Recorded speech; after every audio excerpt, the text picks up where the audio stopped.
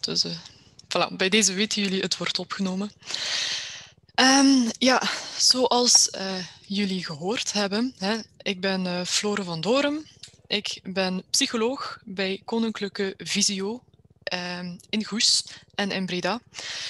Um, en ik wil het met jullie vandaag hebben over visuele stoornissen ten gevolge van een hersenletsel en hun impact op het systeem.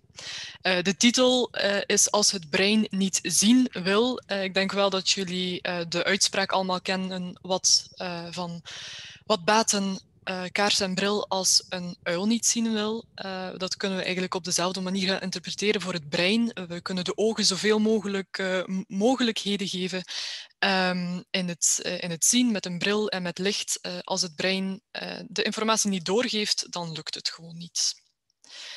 Even kort een inhoudstafel van wat we allemaal gaan doen.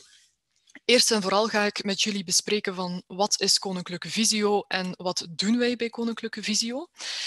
Um, daarna um, ga ik spreken over visuele stoornissen, de gevolgen van uh, niet aangeboren hersenletsel. Er staat bij uit de praktijk, omdat het uh, stoornissen gaan zijn die ik in de praktijk gezien heb en die mij geboeid hebben en die ik hier dan ook ga bespreken.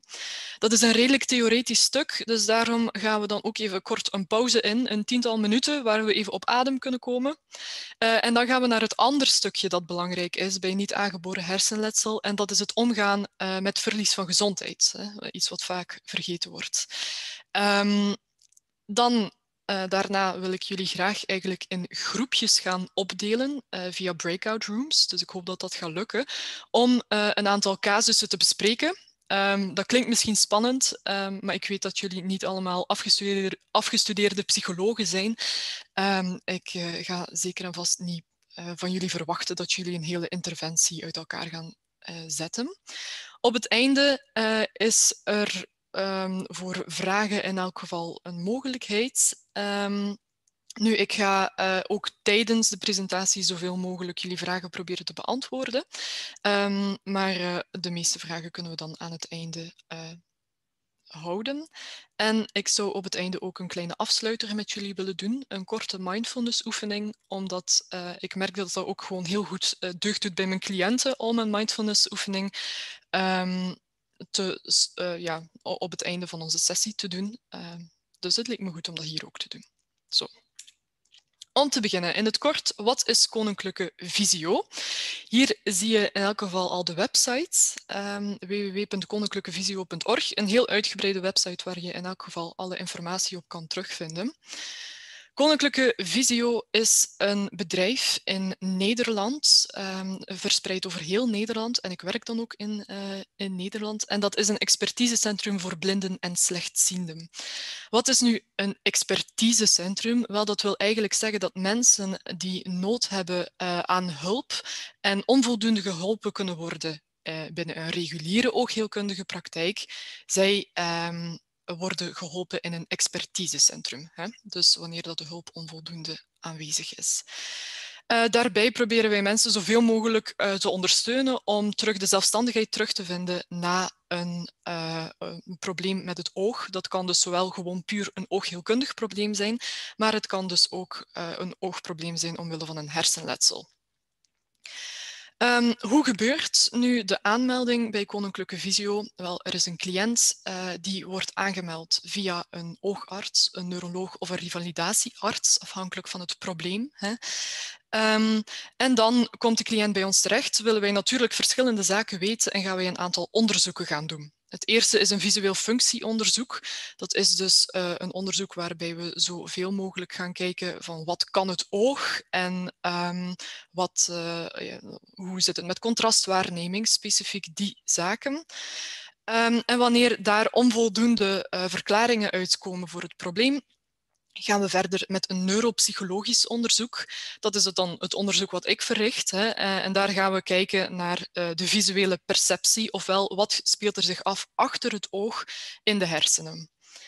Uh, na het neuropsychologisch onderzoek uh, komt er vaak een ergotherapeutisch onderzoek. Uh, dan gaat de cliënt aan de slag met de ergotherapeut in de praktijk om te kijken van waar loop ik nu tegenaan en hoe kunnen we zoveel, zoveel mogelijk ondersteuning bieden daarin.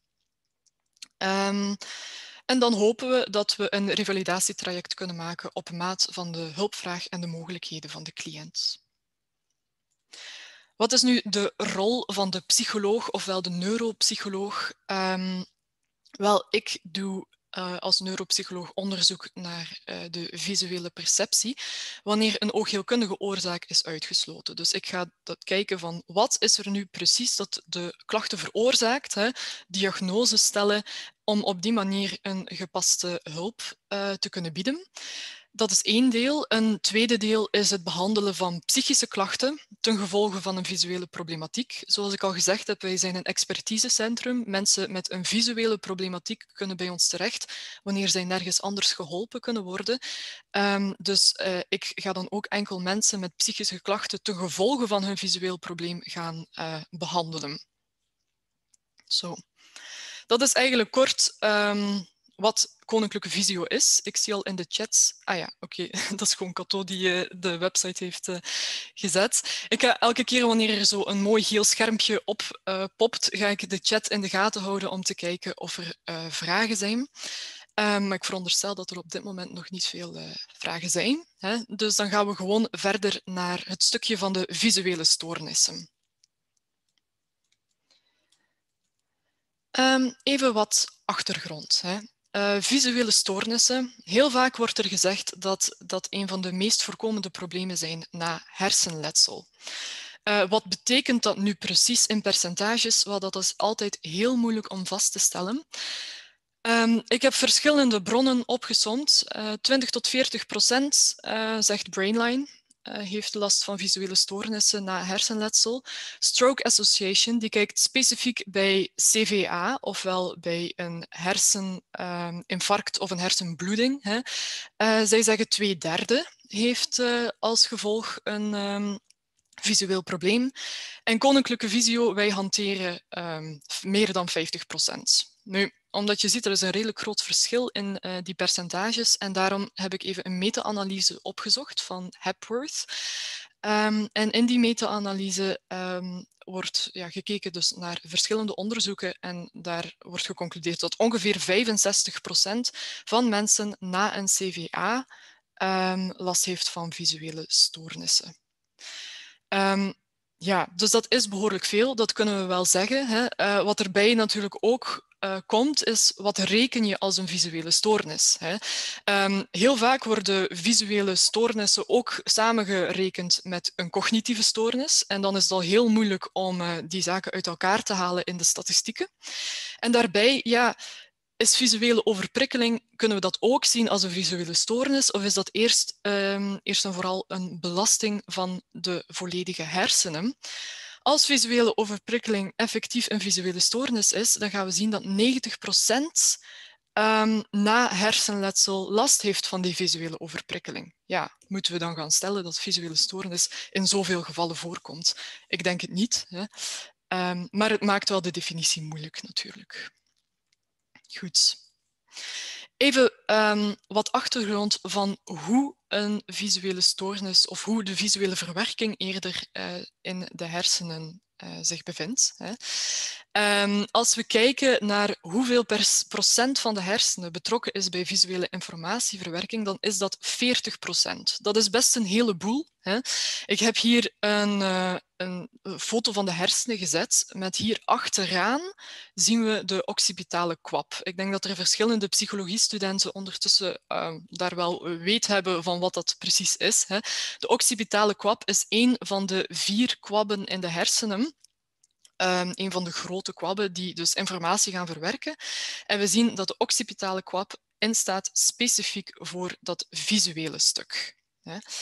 Um, nu, die occipitale kwab is al een behoorlijk stuk van de hersenen, maar die gaat nog informatie naar andere onderdelen in de hersenen gaan doorsturen. En dat zorgt er eigenlijk voor dat er in totaal ongeveer 40% betrokken is bij visuele informatieverwerking. Dus als er iets gebeurt met de hersenen, als er een of ander trauma zich voordoet, is de kans eigenlijk al betrekkelijk groot dat we een deel uh, gaan raken waar de visuele informatieverwerking in betrokken is. Hm. Um, om even verder in te zoomen op hoe verloopt die visuele informatieverwerking nu. Uh, we zien hier een afbeelding van het visuele veld, dat is het gezichtveld. Dus als wij kijken, hè, wat we zien is wat we noemen het gezichtveld. Daar hebben we een rechterkant en een linkerkant van. Hè. De rechterkant die komt dan toe op het linkerdeel van elk oog en gaat via een baan helemaal naar achter naar um, de primaire visuele verwerkingsgebieden van de hersenen. Links zien we dan uh, het linkergebied valt op het rechterdeel van het oog en gaat opnieuw via visuele banen helemaal naar de rechterkant van de visuele uh, verwerkingsgebieden. Nu, nog een ander belangrijk deel is het optisch chiasma dat is hier. Hè. Daar zie je eigenlijk dat de twee delen van de ogen samen worden genomen en dat dus eigenlijk elk gezichtveld in één deel van de hersenen wordt uh, betrokken. Nu, bij dat primaire gebied stopt het niet. Hè. Um, we zitten natuurlijk in het primaire gebied en daar komt alle informatie binnen. Nu, um, daar moet alles nog verwerkt worden. Wat moet er verwerkt worden? Namelijk ja, wat we zien, waar we iets zien en eigenlijk gaan beginnen um, begrijpen van, van uh, wat is het nu dat de ogen ons willen doorsturen. Daarvoor zijn er uh, twee grote processen, twee grote routes die we vaak waarnemen. En dat is de wat-route en de waar-route.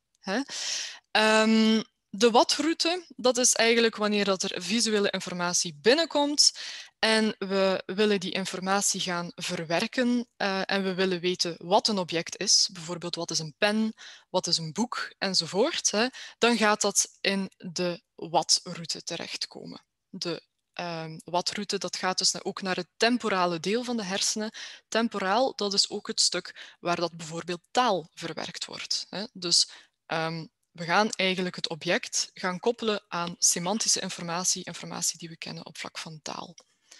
De waar-route is een andere route die we kunnen uh, bekijken. En um, daarin gaat dus informatie van die primaire visuele cortex, die gaat naar boven toe via wat we noemen de dorsale baan. En die komt toe in het parietale gebied van de hersenen. Wat doet het parietale gebied? Dat staat in voor ruimte, beweging, richting, al dat soort zaken. En daarmee kunnen we eigenlijk gaan inschatten van hoe ver um, staat deze computer nu uh, ten opzichte van onszelf? Of um, als we een trap willen op- of aflopen, uh, hoe goed moeten we dan kunnen inschatten uh, waar die trap zich ongeveer bevindt, waar die treden zich bevinden? Um, en dus ook het motorische systeem wordt daar ook allemaal in verwerkt. En dat zorgt er dus voor dat wij kunnen gaan zien van oké, waar staat een object ten opzichte van mij, ten opzichte van um, iemand anders en ten opzichte van een ander object. Dus dat zijn eigenlijk twee grote routes. Ik moet zeggen, um, het is een beetje uh, schematisch voorgesteld, want de hersenen zijn altijd veel complexer dan dat, ze, uh, dan dat wij uh, ze kennen. Hè. maar het is een mooie kapstok om informatie aan op te nemen. Goed. Even uh, naar een voorbeeld van een cliënt die ik gezien heb in de praktijk. Um, de heer Jos, zo heb ik hem genoemd, maar zo noemt hij natuurlijk niet in het echt. Hè. 67 jaar oud. Uh, die cliënt heeft een herseninfarct gehad in juli vorig jaar, komt ongeveer een jaar later bij Visio aan. Um, meneer geeft aan, hij zou heel graag terug autorijden, maar hij mag niet van zijn dochter. En hij begrijpt eigenlijk niet waarom, want hij was bij de oogarts en bij die oogarts was het, ja, uw visus is 100%, um, maar waarom zou ik van mijn, volgens mijn dochter dan toch niet voldoende zien om in die auto te gaan kruipen? Nu, zijn dochter is meegekomen naar het onderzoek. Want ze geeft eigenlijk aan van ja, um, mijn vader heeft niet altijd even goed ziekteinzicht. Hij beseft niet altijd uh, wat er speelt. Um, en hij, uh, zij zegt van ja, mijn vader die ziet eigenlijk heel vaak aan de linkerkant dingen niet. Hij stoot heel vaak langs links uh, met zijn arm of met zijn been. Um, en daarbij zie ik ook gewoon, soms trekt hij zijn linkerschoen niet aan of heeft hij langs de links zijn hemd niet ingestoken. En daarbij, als ik hem een bord voorschotel met eten, dan vergeet hij soms gewoon de volledige linkerkant van zijn bord op te eten. Dus dat zijn een aantal voorbeelden waarvan je denkt van hm, hier speelt er toch wel iets meer. Nu, die cliënt zelf, die man, zegt van ja, goh, Um, dat herken ik eigenlijk helemaal niet. Um, ik heb het gevoel dat ik alles goed zie. Hè. Um, maar ik vraag me soms toch wel af, ja, mijn dochter heeft dan eten voor mij klaargemaakt en dan krijg ik geen stukje vlees. Ik veronderstel dat jullie al kunnen voorstellen waar dat stukje vlees op het bord uh, ligt. Ik uh, kan jullie verklappen dat het aan de linkerkant ligt. Hè. wat is hier nu eigenlijk het probleem bij deze man? Wel, die heeft een herseninfarct gehad en er is een stuk geraakt dat heel belangrijk is voor de gezichtvelden. Zoals je hierboven ziet, ik heb geschreven hemianopsie en visueel neglect. Bij deze man was er sprake van zowel een hemianopsie als een neglect. Um, het is niet hetzelfde. Ik ga zo meteen uitleggen wat het uh, dan wel is. Hè. Uh, bij een hemianopsie zien we vaak dat er een bepaald deel in de hersenen geraakt is, waardoor de informatie van één gezichtveld onderdeel niet meer doorgaat. Hè. Dus stel dat er hier een stuk geraakt is, gaat al die informatie van het linker gezichtveld niet meer uh, binnenkomen in dat primaire verwerkingsgebied. En dan zien we eigenlijk de volledige linkerkant van ons gezichtveld niet meer. Hm? Op zich, als dat puur en alleen een hemianopsie is, valt dat wel nog mee, want dan kunnen we uh, daar best mee leven. Dan weten we ook wel nog dat die linkerkant bestaat. En met de hulp van ergotherapeuten um, kunnen we dan een bepaalde training aangaan om ervoor te gaan zorgen dat we die linkerkant zoveel mogelijk um, in het oog hebben. Hè. Wat er bij deze man uh, speelde was meer dan alleen een hemianopsie, maar was ook een neglect. Het woord neglect zelf zegt het zelf ook al. Uh, bij neglect is er niet enkel sprake van een schade in het gezichtveld, maar ook sprake van een kwestie van aandacht. Hè. Um, soms is er een bepaald deel in de hersenen meegeraakt dat ervoor gaat zorgen dat we niet alleen het linkere deel niet meer zien, maar dat we gewoon compleet vergeten dat dat nog bestaat. Um, die man en bij deze man, hij, hij, vergeet de linkerkant van zijn bord leeg te eten. Ik heb ook al meegemaakt dat er iemand gewoon vergeet om zijn, de linkerkant van zijn baard te scheren. Hè. Um, dus dat zorgt er eigenlijk gewoon voor dat je de volledige linkerkant niet doorhebt. En dat kan uiteraard wel zorgen voor heel gevaarlijke situaties, zeker als je achter een auto gaat kruipen. Dus het is heel belangrijk dat we dat gaan diagnosticeren. Hè. Bij neuropsychologisch onderzoek ga ik ook vaak um, tekeningen uh, tonen en ga ik vragen om die tekeningen na te tekenen. En wat heel typisch is bij een neglect, is dat ze die linkerkant altijd uh, niet gaan meetekenen. Hè. Dus ze zien gewoon niet dat die linkerkant bestaat. Bij een hemianopsie-patiënt zien we dat hij juist wel die tekening volledig gaat zien, omdat hij beseft dat hij nog door moet zoeken naar die andere kant. Nu, hoe komt het dat neglect zo'n uh, groot probleem is in de aandacht? Wel, uh, omdat we daar zitten met die beschadiging in die parietale kwap. Hè. Daar heb ik het zo net over gehad, over die waarroute. Dat parietale deel, ja, daar zitten we met ruimtelijke waarneming, zitten we met uh, integratie van andere sensorische systemen enzovoort. En dat gaat ervoor zorgen dat we eigenlijk geen aandacht meer besteden aan ruimtelijk de linkerkant. Hè. Ik zeg vaak links. Het kan ook bestaan dat uh, het omgekeerd is, dat het links geraakt wordt en dat je dan langs de rechterkant uh, een neglect ervaart. Maar dat is niet zo vaak voorkomend, omdat uh, de rechterhelft gewoon meer gespecialiseerd is in ruimtelijke waarneming. Hm. Um, een neglect is niet altijd visueel. Zoals ik zeg, uh, we zitten in de parietale kwap. En de parietale kwap um, gaat ook andere zintuigen gaan integreren. Dus het kan ook zijn dat uh, de cliënt bijvoorbeeld, wanneer dat, uh, iemand links van hem staat, dat hij helemaal die cliënt negeert omdat hij haar niet hoort spreken, bijvoorbeeld. Dus um, ja, het kan auditief zijn, het kan ook sensorisch zijn. Soms herkennen mensen gewoon hun linker lichaamsdeel helemaal niet meer als dat van zichzelf. Even een uh, scan van een MRI erbij nemen. Um, dit is een MRI-scan zoals we hem zien bij een hemianopsie. Hier achteraan, dus zit dat occipitale gedeelte, daar zie je een wit stuk. En dat wil zeggen dat er geen uh, onvoldoende uh, informatie daartoe komt omdat er uh, afvoering is, uh, onvoldoende toevoer van bloed. Hè. Dus dan zien we dat er hier een stuk eigenlijk niet meer goed functioneert. en dat zit, zit achteraan in dat occipitale gedeelte. Ehm, er staat hier, deze MRI lijkt alsof het links is, hè, maar eigenlijk is de schade bij deze patiënt rechts, omdat alles gespiegeld eruit ziet. Bij een neglect zie je al meteen dat we een veel groter deel van de hersenen hebben dat is aangedaan. En dat zit hem niet zo achteraan in dat occipitale gedeelte, maar zit hem um, meer vooraan, meer uh, bovenaan in de hersenen, uh, in het ja, stuk van de parietale kwap. Dus dat is hoe we dat zien op een MRI-scan. Dan heb ik voor jullie een aantal uh, objecten. Jullie mogen eens goed nadenken um, en zelf een antwoord formuleren op wat zijn deze objecten nu. En ik heb ook een aantal uh, vragen die ik ga stellen, die jullie ook mogen beantwoorden via de poll. Dus hoeveel objecten herkennen, herken je? Uh, wat voel je als je die objecten nu ziet? Heb je het gevoel van, oef, uh, dit is vreemd, hè, uh, bevreemdend dat ik het niet kan herkennen? of denk je, ja, kan mij niet schelen. Um, en ook denk je van, als ik, als ik dit nu niet kan um, verklaren of als ik, als ik niet snap wat dit object is, is het dan een probleem in de wat of in de waar route? Ik geef jullie nog een uh, tiental seconden om te antwoorden.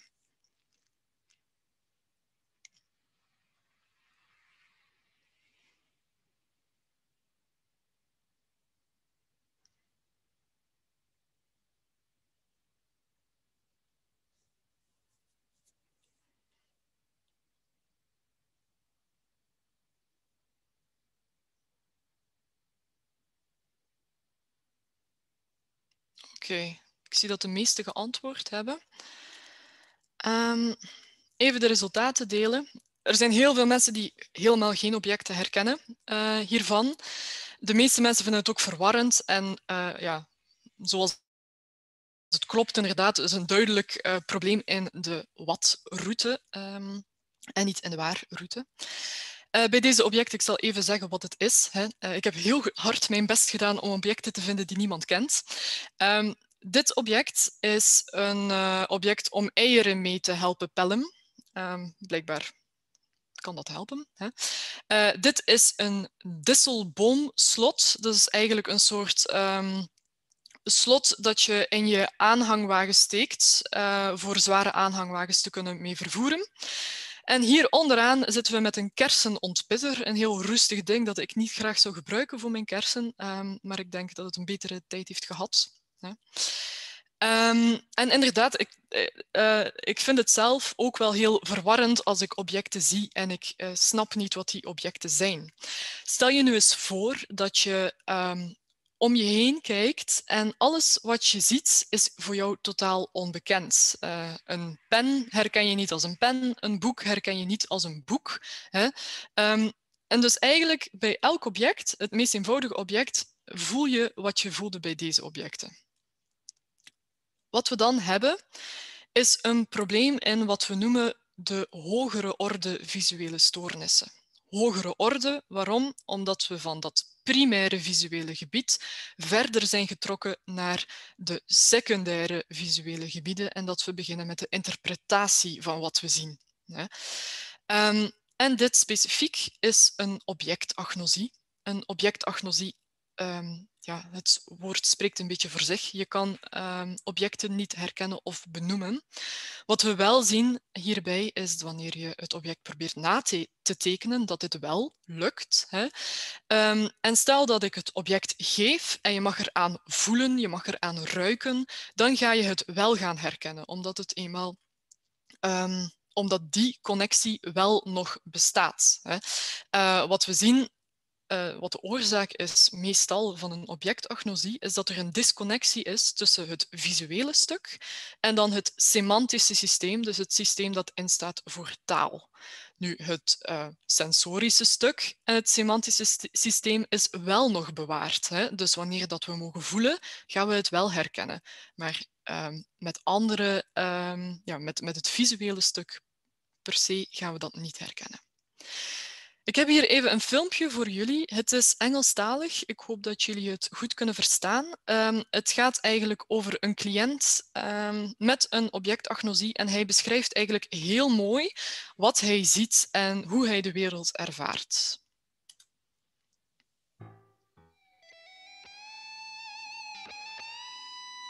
Evan suffered brain injury after being hit by a car a few years back and that caused him to lose the capacity to recognize everyday objects.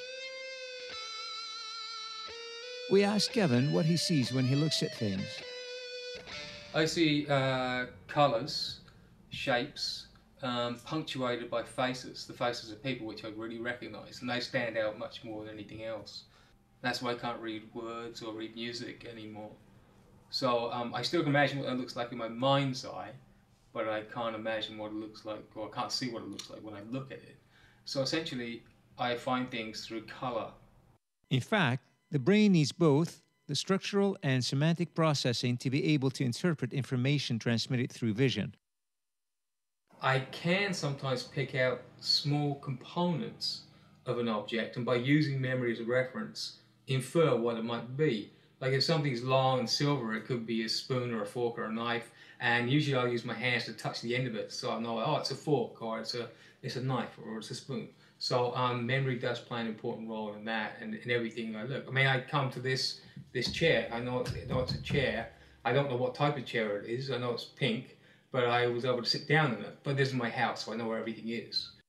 Um, before I could read music but now I can't read music anymore. So I deconstruct um, music in my mind's ear so I listen to the piece and I try to separate the different instruments, what they're playing, so the bass part, the, the, the treble part, the melody, and then, um, or any harmonies, and then I re reconstruct it back for the guitar. So I don't actually, I'm not listening to something, a singularity is broken down. I think we do that when we learn about anything. When you're a child and you take something apart, you deconstruct it to find out how it works and you put it back together again. And then you have this intimate knowledge about how the object works and what it is. Um, and I do that with my in my mind with things that, that I come across, especially with music. Anyway, I deconstruct it. That's my son, my oldest son, with Santa Claus. Yeah, Santa Claus, my oldest son. And this is one with my youngest son. When he was younger, he's a teenager now. But, uh, yeah, that behind that angelic face is a demon child. That's my eldest son when he was, um, uh, must have been about six weeks old two months old. Uh, I think that's me here. And uh, that's um, Hayden, my youngest son, when he was uh, a baby. And do you see the details of the face? Like, do you see the eyes clearly? What is it? What is it in the image that you recognize? The whole face. And I'll tell you why you can see. I can see a whole face, but I can't see a whole object. Like this thing here, I only see parts of it. Like I see these, these diagonal things here but I can't see the whole thing. But with the face, I see the whole thing. So you say, well, how come I can't see that in its entirety, but yet I can see the face in its entirety? It's because a completely different center of the brain processes faces than processes objects. And in me, the part that processes objects, symbols, has been damaged. But the part that processes faces is fine. And that's how I'm able to recognize people's faces. Oké, even kort een, uh, een filmpje hè, over um, deze man. Hij um, bespreekt trouwens ook heel mooi het verschil tussen wat we noemen objectagnosie en prosopagnosie. Um, ik hoop dat je dat een beetje verstaan hebt. Hè. Dus hij spreekt op een bepaald moment over waarom hij wel gezichten kan herkennen en geen objecten. Hè. Prosopagnosie is dus het onvermogen om gezichten te herkennen. En dat is inderdaad net dat andere stukje in, uh, in de hersenen. Uh, en deze man geeft aan, ja, gelukkig dat ik wel nog mijn, uh, mijn familie kan herkennen. Zo. Een tweede voorbeeld uit uh, de praktijk. Um, een cliënt, Johan, 78 jaar. Die man heeft een herseninfarct gehad tijdens een hartoperatie. Dus dat is iets wat we ook wel vaker zien. Um, en um, ja, de hartoperatie ging op zich wel goed, maar helaas als complicatie heeft hij daar dus een herseninfarct door gehad.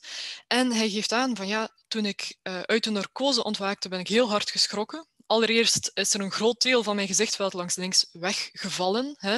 Dat is wat we noemen die linker hemianopsie dan, maar daar bleef het niet bij. Cliënt um, kon wel alles nog scherp zien. Hij zegt van ja, van heel ver kan ik een vogel in de tuin zien opvliegen, maar tv dat gaat gewoon niet meer. Die bewegende beelden, ik kan ze niet volgen. Uh, het wordt gewoon een hele brei. Hè. Um, ik kan geen voorwerpen meer volledig zien. Het lijkt alsof ik alleen maar stukjes eruit haal. Hetzelfde met, met een gezicht. Um, dat kan ik ook maar één stuk van herkennen. Uh, ik kan het de mond zien of de neus zien, maar ik kan het niet allemaal als één ding zien. Het lijkt eigenlijk alsof ik geen twee objecten tegelijk kan gaan zien. Daarbij, uh, heel vervelend is ook dat ik altijd naast dingen ga grijpen. Ik giet naast mijn glas water of wanneer ik mijn rollator wil pakken, dan zit ik een beetje in de lucht te grijpen. En um, ja, het lukt maar niet om dat beet te nemen. Hm. Um, toen we deze cliënt uh, op onderzoek hadden, valt het op inderdaad dat de cliënt eigenlijk geen enkele letter kan lezen op de letterkaart. Hè. Maar wanneer ik met mijn hand ga bewegen bij die letter, wat meer aandacht opwekt, dan ziet hij het plots wel. Maar niet lang, het is onmiddellijk terug weg. Hè. Um, en we zien ook bij die objecten, wanneer ik dat doe, kan hij heel ver geraken. Dus hij ziet wel heel scherp, maar hij kan zijn blik precies niet vasthouden. Of hij is elke keer het object weer kwijt. Wanneer ik een aantal stippen uh, vraag om te tellen, uh, dan ziet hij er vaak juist te veel of te weinig. En wanneer ik vraag om ze aan te duiden, gaat hij volledig naast het boekje uh, gaan aanduiden. Denkt hij dat het naast de tafel zit enzovoort. Het lukt hem dus helemaal niet om gericht dit soort zaken te doen. Wat cliënt ook aangeeft is van ja, dit is voor mij echt verschrikkelijk. mijn leven is precies ingestort. Um, ik weet even niet meer wat ik, wat ik moet doen. Um, dus je merkt al bij deze cliënt, het is helemaal anders dan als bij die neglect-cliënt. Deze cliënt heeft zeker uh, het inzicht wel. Hè. Um, ik wil bij deze uh, ook even een polvraag nog stellen. Namelijk, als jullie dit horen, denken jullie dat dit een probleem is in de wat-route of in de waar-route? Mag je nu even gaan antwoorden?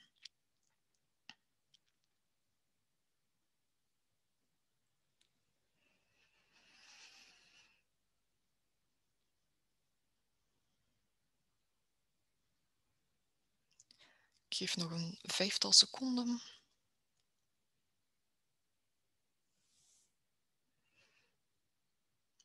Oké, zo. Even de resultaten delen. Um, de meeste mensen zeggen hier inderdaad een, uh, een waar-route en uh, dat klopt. Hè. Um, ik kan me wel voorstellen dat het een beetje verwarrend is, omdat we op een bepaald moment spreken over uh, die gezichten en uh, dat hij het precies niet lijkt te herkennen. Wel, het is wel zo dat hij ze herkent, de gezichten, maar hij kan gewoon niet uitzoomen. Hij kan eigenlijk bij één gezicht, hè, kan hij niet uh, uitzoomen op die verschillende onderdelen en een, het geheel gaan overzien. Hij ziet eigenlijk maar één ding tegelijk. En bij deze cliënt um, is er sprake van een syndroom van Balint. Dat is een eigenlijk gelukkig maar uh, weinig voorkomend probleem.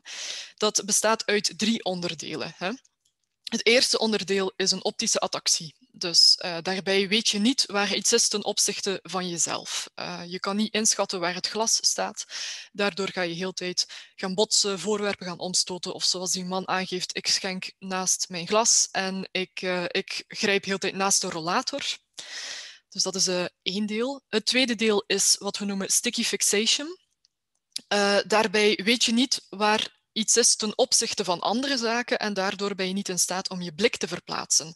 Dat was bij die man, als we bij de letterkaart vragen welke letters hij ziet, lukt het hem niet om dat voorwerp uh, bij zich uh, tot zich te nemen hè, uh, en zijn blik te verplaatsen om de andere letters te gaan lezen. En wanneer ik met mijn hand zwaai en daar meer aandacht op ga vestigen, dan zien we, oh, dan lukt het wel. Hè. Dus uh, het is ook heel moeilijk voor die cliënt van het ene voorwerp naar het andere voorwerp te kijken. En daardoor is die man eigenlijk altijd alles kwijt. Een derde ding um, is simultaanagnosie. En dat is dat stuk dat ik net beschreven had van die gezichten. Hè. Het niet kunnen uitzoomen en dus het niet kunnen zien, overzien van het geheel. En daardoor maar één uh, zaak tegelijk kunnen waarnemen. Wat zien we ehm, op een MRI-scan bij het syndroom van Balint? Ehm, zoals ik gezegd heb, het is heel weinig voorkomend en ehm, wat heel belangrijk is om dit te gaan diagnosticeren, is een bilaterale schade. Dus langs beide kanten van de hersenen moet er schade aanwezig zijn. En hier zie je dat door deze twee wit oplichtende delen. Hè, um, en we zien ook dat het hem zich een beetje bevindt in de overgang tussen dat occipitale deel en het parietale deel. Dus net dat stuk dat instaat voor um, ja, het het gaan verwerken van prikkels in uh, de ruimtelijke omgeving. Mijn cliënt die moest van mij een huis tekenen en dat zag er op deze manier uit. Dus wat we zien, um, als hij één lijn trekt, dan lukt het hem wel om die lijn vol te houden. Maar als hij die, zijn pen van het blad moet houden en, um, en het dak erop gaat tekenen, dan gaat dat helemaal niet aansluiten, omdat hij die onderdelen dus niet op elkaar kan gaan, uh, ja, um, gaan aansluiten. Hè. Dus een raam, dit is ofwel een deur ofwel een schouw. Ik weet het zelf ook niet. Hè. En dit is dan het alternatief. Ik denk dat als ik het aan de cliënt zelf vraag, dat hij het helaas ook niet weet. Hè. Dus uh, je ziet wat een enorme impact dat wel heeft op, um, op deze man zijn leven. Hè. Ik heb nog een filmpje erbij genomen. Uh, een heel oud filmpje, maar het toont wel even mooi aan uh, wat die verschillende symptomen zijn. Oh, ja. Ben ik te laat met klikken? Dus hier toont de onderzoeker een lepel en uh, de cliënt moet het vast gaan nemen. Maar je ziet dat hij er continu naast grijpt.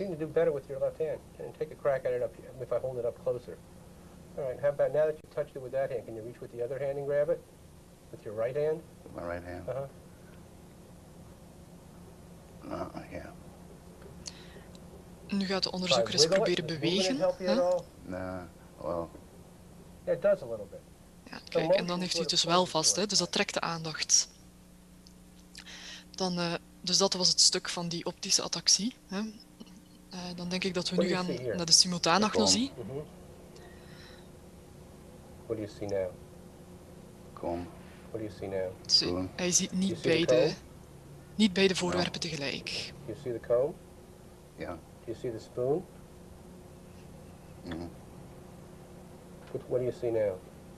I see the spoon. What do you see now? Comb. Do you see a spoon at all? No.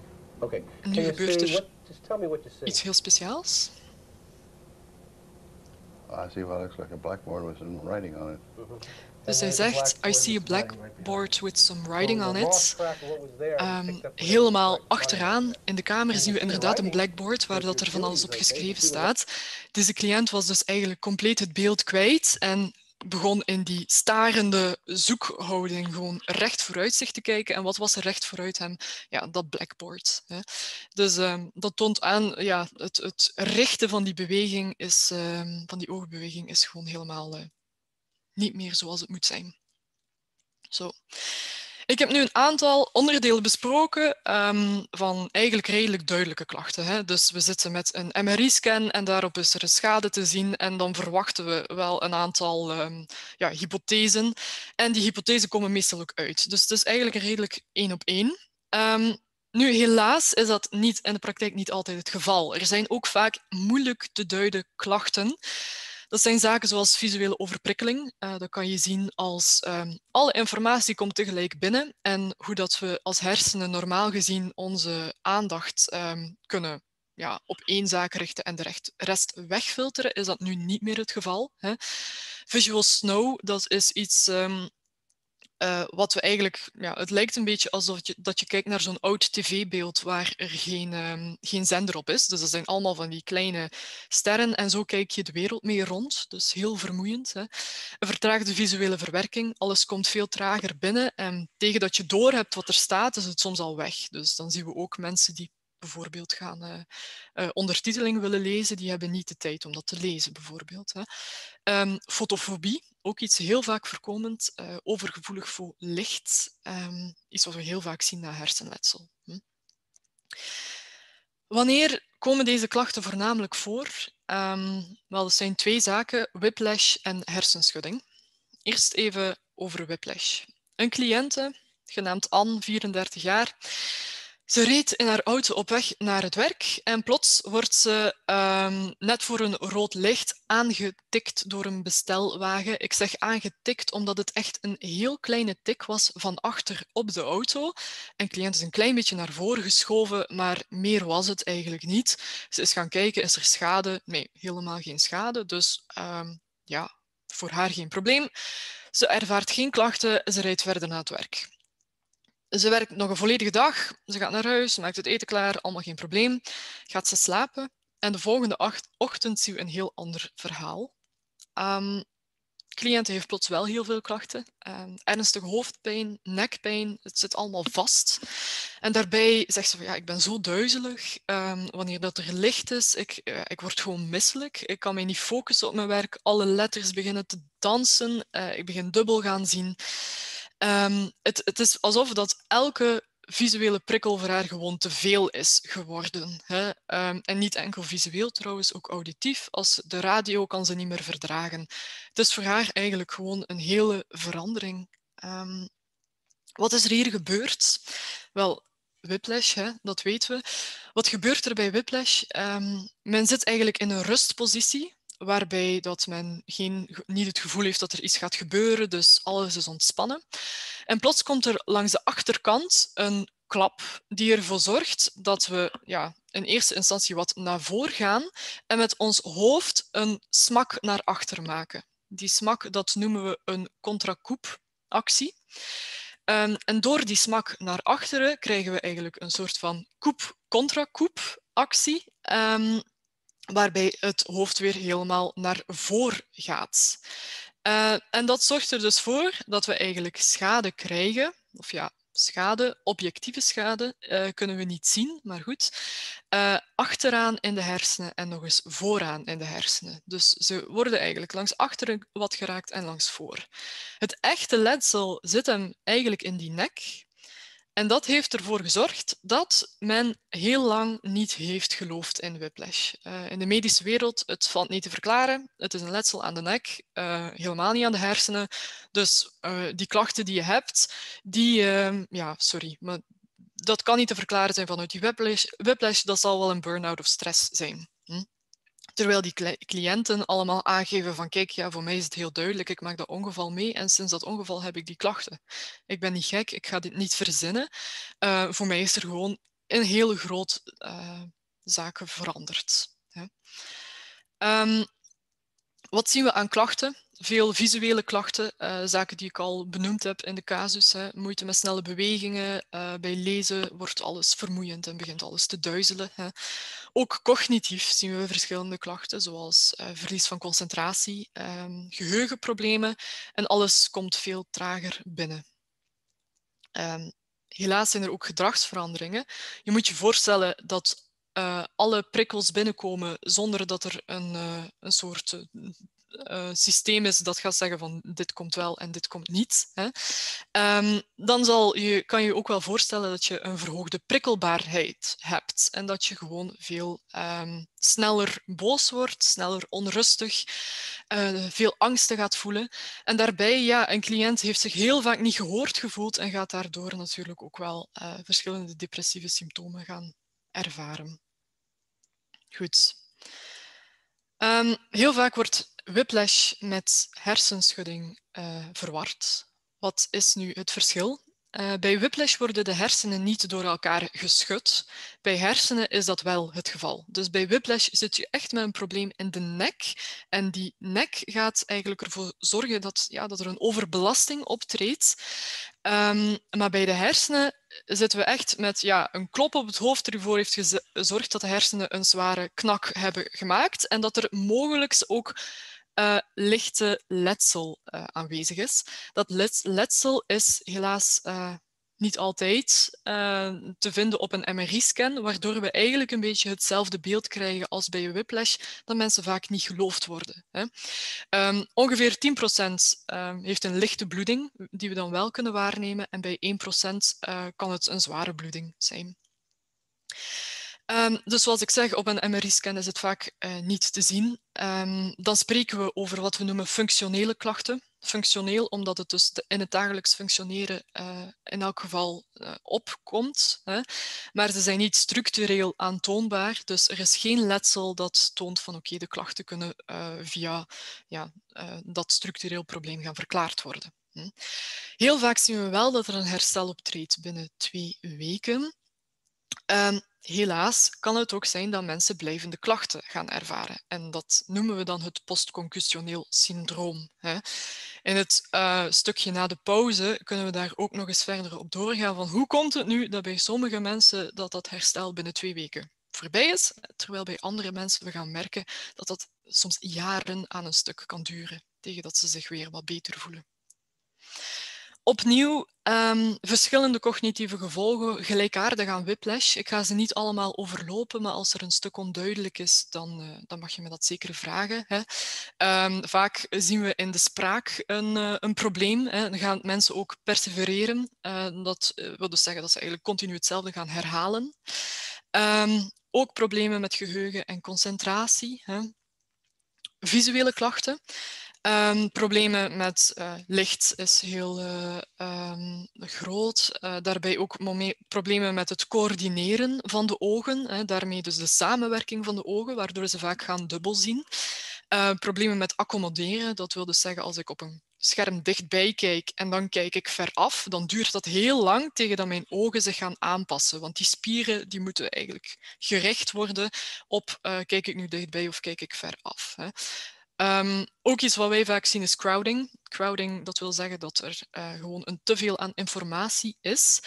Um, hoe uitzicht dat? Stel dat ik naar een winkel ga en ik heb crowding en ik kom de supermarkt binnen en ik moet in een uh, winkelrek gaan zoeken naar één bepaald blik soep bijvoorbeeld. Uh, dan gaat het mij eeuwen kosten om dat te gaan vinden. Omdat alle informatie tegelijk binnenkomt en we kunnen ons gewoon, uh, we kunnen de informatie die we niet nodig hebben, die kunnen we niet wegfilteren. Zo. Um, ook opnieuw emotionele gevolgen, zoals ik al gezegd heb. Hè. Overprikkeld zorgt voor een emotionele prikkelbaarheid. Um, en omwille uh, van dat de problemen vaak niet onderkend zijn, een gevoel van onzekerheid, minderwaardigheid, wat een enorm um, ja, gevolg kan hebben op de persoonlijkheid van iemand. Goed. Gaan we nog um, het voorlaatste stukje in voor de pauze. Um, we hebben het gehad over uh, een trauma. Uh, we hebben het gehad over uh, moeilijker zichtbare klachten op een MRI-scan. We zitten helaas ook met degeneratieve processen. Degeneratieve processen um, zijn ja, problemen doordat de hersenen gaan aftakelen. We zien dat vaak bij ouderdom. Uh, het meest bekende daarvan is natuurlijk Alzheimer en dementie. Dus de hersenen die gaan beginnen aftakelen, gaan, gaan in, um, uh, in volume gaan verliezen, uh, waardoor dat er ook steeds meer functies wegvallen. Daar kunnen ook veel visuele problematieken um, door gaan ontstaan, zoals MS, als de oogzenuw is aangedaan. Hè, want MS is een probleem uh, dat zich gaan richt, specifiek op de zenuwen. Hè. Als de oogzenuw is aangedaan, ja, dan uh, kan een, iemand natuurlijk veel minder zien. Bij Parkinson zitten we veel in dat ruimtelijke stuk. Hè, uh, en ook het aansturen van de oogspieren um, wordt een probleem. En er is ook één type van dementie wat ik graag met jullie wat dieper op was ingegaan. En dat is posterieur corticale atrofie uh, posterieur corticale atrofie, kort PCA, is een vorm van dementie waarbij dat we eigenlijk eerst en vooral problemen in de visuele functies gaan zien. Hè. En dat gaat dan specifiek zijn in uh, die hogere visuele functies, hè. dus die objectherkenning, die uh, herkenning van ruimte enzovoort. Dat gaat er, gaat er allereerst wegvallen. Um, nu, het geheugen blijft in eerste instantie wel bewaard en dat zorgt er eigenlijk voor dat heel veel um, mensen gaan blijven zoeken naar wat is er nu mis met mij, omdat die diagnose heel vaak over het hoofd wordt gezien. Bij dementie denken we onmiddellijk in eerste instantie aan geheugenverlies.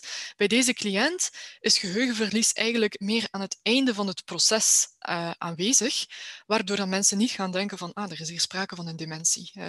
Wat we wel zien, is dat de onderliggende oorzaak vaak wel Alzheimer is en dat als we een MRI-scan nemen, dan zien we ehm, dat dat een beetje hetzelfde uh, beeld geeft als bij een Alzheimer. Dus als ik hier toon, hè, dit stuk en dit stuk, veel um, eigenlijk witte stof is hier verdwenen. Hè. Dat is typisch voor Alzheimer. Uh, bij Alzheimer gaat dat meestal meer hier beginnen, meer frontaal, hè, waardoor planningsfuncties en andere zaken uh, eerst wegvallen.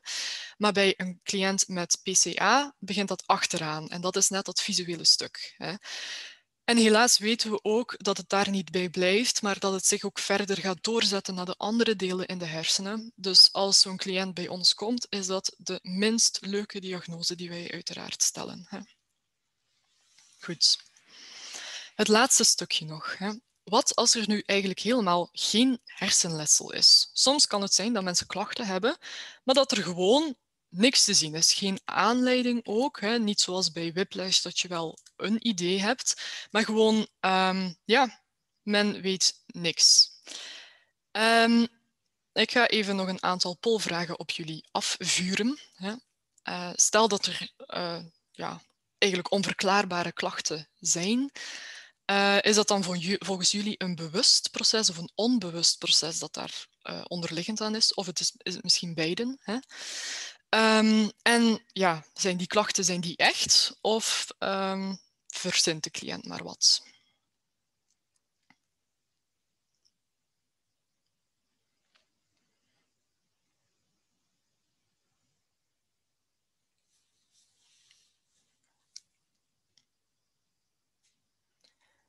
Ik geef jullie nog een vijftal seconden.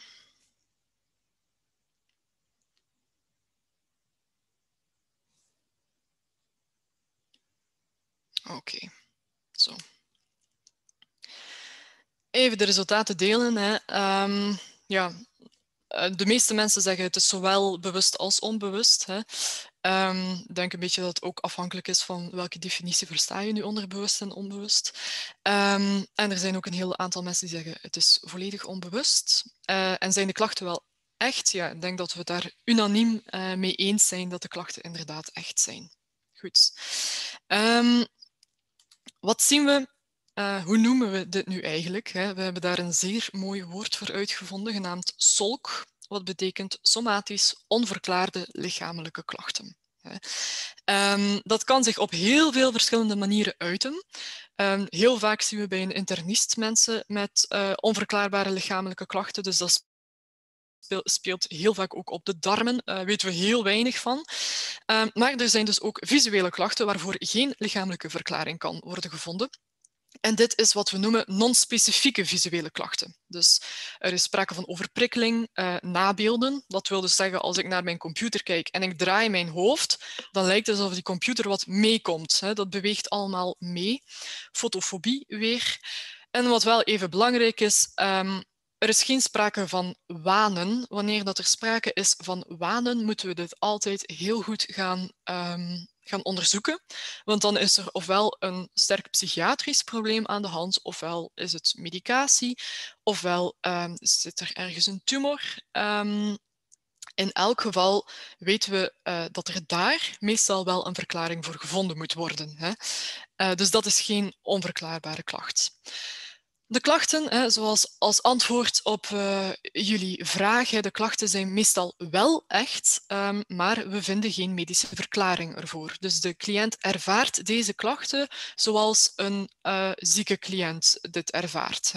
Um, als een ja, overprikkeling na hersenletsel, een cliënt zonder hersenletsel ervaart het evenzeer op dezelfde manier. Wat we wel vaak zien, is dat stress een grote rol speelt binnen een somatisch onverklaarbare lichamelijke klacht. Hè. Waarom? Um, heel vaak beginnen de klachten licht hè, en worden mensen op ongeloof onthaald, wat er eigenlijk voor gaat zorgen dat mensen in een soort van visieuze cirkel gaan belanden, want ze gaan daardoor nog meer uh, stress gaan ervaren. Uh, wat nog meer die klachten gaat veroorzaken. Hè. Dus het is een soort van cirkel waar dat we moeilijk uitkomen. Um, en daarbij ook eh, is het bewust of onbewust? Heel vaak is het, eh, is het iets onbewust. We zitten eigenlijk um, onderliggend uh, met vaak psychische problemen die ervoor gaan zorgen dat we klachten op een lichamelijke manier gaan uiten. Hè. Um, ja, dat is nu één voorbeeld. Er zijn soms nog andere onderliggende problemen die dit veroorzaken. Um, maar dus dat is een onbewust proces. Hè. Heel soms zien we dat mensen het bewust doen en dan is dat om uh, ervoor te zorgen dat ze niet meer moeten gaan werken enzovoort. Hè. Dan gaan ze klachten gaan veinzen. Um, maar dat is dus niet het geval, uh, heel vaak niet het geval uh, bij de mensen die wij zien. Hm. Wat er bij visio vaak voorkomend is als soort van solk, hè, um, is conversie. Conversie, ofwel een functioneel neurologische symptoomstoornis. Dat is een heel um, mooi en duur woord. Um, om eigenlijk te gaan verklaren van ja, stel dat je plots uitval hebt, dat kan in je arm zijn, in je been of gelijk wat, hè, dan um, is dat doordat de communicatie misloopt in het zenuwstelsel. Dus de hersenen geven de informatie niet meer door naar de plek waar je uitval hebt of omgekeerd. En wat we vaak zien is dat dat een psychologische oorzaak heeft. Hè. Dus wanneer dat we geen lichamelijke klachten um, of wanneer dat we geen uh, zaken vinden die eh, op een andere manier uh, de klachten kunnen verklaren, um, dan zien we ook vaak dat er een psychologische oorzaak uh, aan ten grondslag ligt. Ik heb bijvoorbeeld een cliënt gehad die van dag 1 op dag 2 blind was geworden zag gewoon helemaal niks meer. Er was geen enkele uh, neurologische verklaring voor, ook geen oogheelkundige verklaring. En als je dan verder gaat zoeken, ja, dan um, ja, dat was nog een jong meisje, zat zij net in een uh, echtscheiding en um, waren er ook verschillende gebeuren, uh, zaken gebeurd in de familiale situatie, wat ervoor heeft gezorgd dat ze de wereld eventjes letterlijk niet onder ogen kon zien. Goed, dit was een heel theoretisch onderdeel. Um, ik denk dat het goed is dat we even pauze nemen. Ik stel voor een tiental minuutjes. Eerst wil ik wel even vragen of er nog vragen zijn. Ik zie op dit moment niks in de chat. Um, dat mag altijd natuurlijk. En uh, als jullie even jullie microfoon willen aanzetten om een vraag te stellen, dan mag dat nu ook.